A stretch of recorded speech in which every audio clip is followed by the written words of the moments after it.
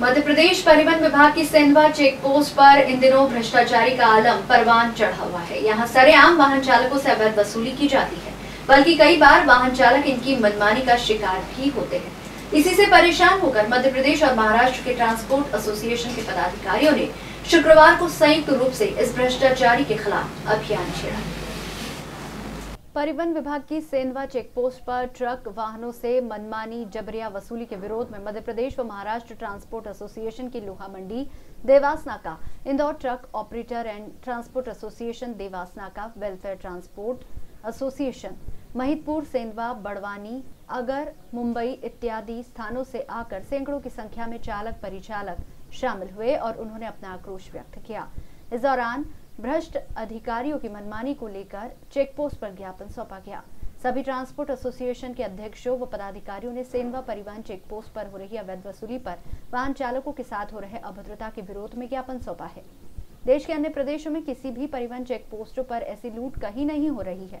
परिवहन check post पर वाहन चालकों द्वारा वसूली न देने पर दो दो दिन तक छोड़ा नहीं जाता है।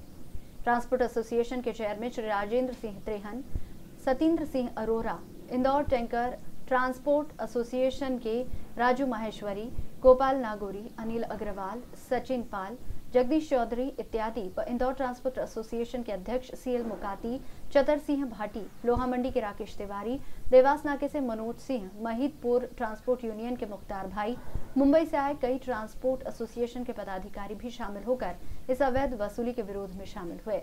सेनवा के एसडीओपी सेनवा थाना प्रभारी विश्वजीत सिंह परिहार भी अपने दलबल के साथ तैनात थे।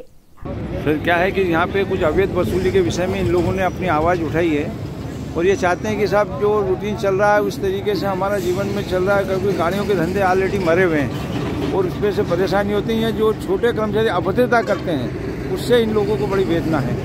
उनका भी ट्रांसपोर्ट ट्रांसपोर्ट विभाग को का भी कहना है कि कुछ लोग इसमें दादागिरी से अवैध गाड़ियाँ निकलवाने का काम कर रहे हैं। तो उन्होंने एक शिकायत किया है, मेरे यहाँ शिकायत किया है, उसकी जाँच कर रहा हूँ।